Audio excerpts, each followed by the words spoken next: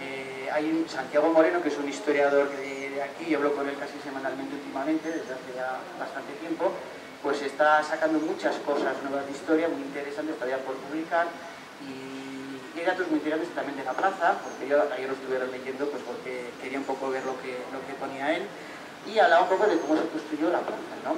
Pero falta todavía, decía, por sacar eh, el ver a qué se debe esta construcción. O sea, hoy en día pues hacemos una residencia, hacemos eh, una autopista, una autovía y se hace y ya se pagará o se paga o con el préstamo, como sea. Esto pues, no era eso no se funcionaba. Si antes la gente era más racional, no dependía de los bancos porque no los había, había prestamistas, pero no había bancos tal y como los tenemos hoy en día. Y entonces esto nos habla de que la raga en esta época, sin saberlo y sin verlo, tenía una época bollante. No sé si por la ganadería, eh, se intuye, había mucha ganadería, con la transhumancia, tal y cual, eh, con el tema de vinícola, no lo sé, pero también ocurre en muchos pueblos de Navarra, ¿eh? no solo esto, solo sabemos por las torres de las iglesias, son de barroco, según en casi todas, y valen su dinero, son obras que son casi artesanales, son, no son de fábrica ni de serie, y eso costaba mucho dinero y se debe a un periodo de paz, a nivel político, nacional e internacional. Se ve también aquí hay una eh, bonanza en la agricultura y la ganadería, y eso permite hacer obras como esta que tenemos aquí. ¿no? Es una obra de estilo barroco. Barroco es un estilo que se da después del Renacimiento, luego vemos en la iglesia, y es un estilo pues, que busca la grandilocuencia, las sensaciones eh, y todo lo que ello conlleva. ¿no? Eh, es una, la, plaza en su conjunto pues lo que hace es un poco reunir al pueblo, ¿no? Está la sede del ayuntamiento, antes estaba pues la sede de la villa, la casa de la villa, Granero, Mesón y Toril, ¿eh? se dio también como eh, Toril. Se comenzó a planear en el 30, en el 32 se empezó a materializar esa obra, en el 34 se había llegado al primer piso, primer nivel, se coloca eh, en la base del balcón principal, se colocan también los balustres, los hierros, y parece que en el 38 se termina, ¿no? Se termina la plaza. En el 42 Miguel de Zufía hará el escudo, el escudo de la raga, no lo hace Juan José Veras, como siempre hemos dicho, eso está mal, es un error que a veces lo escribe un historiador, luego se copia y está mal, lo hace Miguel de Zufía. ¿eh? Era, una, era, una, persona eh, era no sé si es el carpintero que hace luego la, fachada del órgano, yo creo que es otro, pero eran familias de artistas, yo creo que es otro. Y este lo hace Miguel de Sofía, no tengo ahora mismo claro quién exactamente es, pero bueno, es este señor. Bien, eh, el escudo que tenemos es un escudo en el que vemos un árbol con unas raíces. Voy a comentar una anécdota, y es que ir un poco leyendo, lo debieron de hacer como las tres bolas que tiene, estaban como compactas, ¿no? Y ahora cuando se hacen escudos en la raga, Igual es de poner tres bolas que poner una que poner dos. Y hace poco he visto una versión última del fútbol y es un todo uno. Eso está mal. Eso no es el escudo de la rama. También es cierto que este tema el ayuntamiento tiene que controlarlo y el escudo oficial lo tiene que utilizar el ayuntamiento. Y el resto tiene que utilizar versiones. ¿eh? Eso también es cierto. Pero a veces, bueno, las cosas cuando se empiezan a cambiar, luego al final acaban pues eh, como, no, como no deben, ¿no? Bien, digo esto porque cuando se hizo este escudo, eh, se hace el escudo y luego se le manda al cantero volver a replicar y que haga las tres bolas, porque el, escudo tiene tres ramas, eso, pues, como curiosidad, ahí lo leí y me vino a la cabeza. Bien, ¿qué es ese árbol? Eh, los reyes, cuando me lo dan en 1507, el 23 de abril, dicen que es un pie de raga con su fruto de gules, con unas frutas rojas, ¿no? Más o menos. Si uno va a una enciclopedia de botánica o de esto, pues no va, busque la palabra raga que no va a aparecer.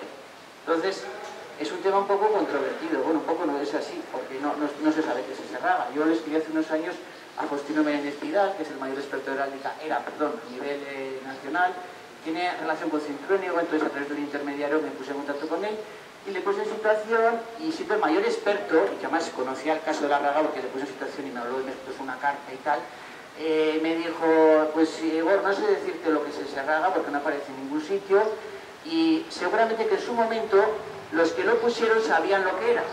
Pues un árbol típico de la raga, pues una simbología que me he inventado yo que sé quién, pues se sabía, pero hoy en día pues no se sabe, no, no se sabe qué es. Un árbol típico de aquí, pues no está claro, ¿no? Pero lo que sí está claro es que es un árbol de tres ramas y con unas raíces y tal, es un pie de raga. También es cierto que eh, cuando uno repasa los archivos de la documentación de hacia 1500, cuando se da el escudo, muchas veces aparece el nombre de la raga separado. Aparece la separado, raga con una R. Y entonces que te digan que te dan un raga, pues no sabes si es un algo típico de aquí o lo que es. O sea, hoy en todos escribimos la raga todo junto y con dos R's. Pero antes, eh, porque no existía tampoco la información que tenemos hoy, no, pues la gente, la raga, pues lo ponía como le parecía, porque como la mitad era, o sea, el 90% eran analfabetas, no sabía leer y escribir, y luego, eh, pues eh, esas cosas pasaban, ¿no? Entonces se pone la separada de raga, entonces a veces no no sabe cómo interpretar estas cosas, ¿no? Bien, bueno, pues dejando ya sobre los orígenes de la raga y la etimología, eh, tenemos aquí el escudo de la raga, tiene, como es un estilo barroco, pues tiene diversos, diversos motivos decorativos, tiene leones, tiene abajo un mascarón, tiene una corona porque está el pueblo dentro de lo que es un reino, entonces tiene una corona. Eh, bien, y luego tenemos el inmueble principal, es la sala de la villa. Eh, este, este, edificio de aquí destaca, siempre ha destacado, ahora está cambiado, eh, el espacio central de la escalera. antiguamente, hemos hablado de los romanos. La casa romana, si uno va a a Mendigorría, pues puede ver que hay diversas casas que se hacen en torno a un patio central, ¿no? Patio central. Bien, eso luego los romanos caen, pasan diversos pueblos, el románico, el gótico, y el renacimiento, lo veremos luego en la iglesia, es el renacer del arte clásico. Entonces, eso quiere decir que se copia los modelos romanos y se vuelve a hacer. En el fondo las modas se van copiando y repitiendo. Y entonces, en esa copia se copian también los patios, ¿no? Por ejemplo, si van a Pamplona, al Palacio del Condestable, que está en la calle Mayor, tiene un patio central, es del 16. Si van a Estella, la biblioteca municipal, que está luego en la calle Mayor también, el Diego de León creo que se llama, también tiene un patio central, es Renacimiento. Bueno, pues luego, avanzando en el tiempo, cuando se pasa al barroco, ese espacio del patio central lo ocupa la caja de la escalera. Si alguno ha tenido la suerte de entrar a Casa Nieto en la Raga, tiene una gran caja de escalera, una caja que es la más bonita de la Raga, en Casa Nieto, casa de, donde el círculo, al lado de eso, pues ahí hay una, que alguna vez intentado hacer una visita dentro y no, si no, no baja algún año. Bueno, pues eh, ese, espacio central. Entonces este ayuntamiento también, el espacio central gira en torno a la caja de la escalera, que es el barroco, y en torno a las salas principales que tenemos en la balconada principal. La iglesia sencilla. Y hemos tenido la suerte de que han sabido a lo largo de la historia decir vamos a entrar por la misma puerta y no la vamos a cambiar.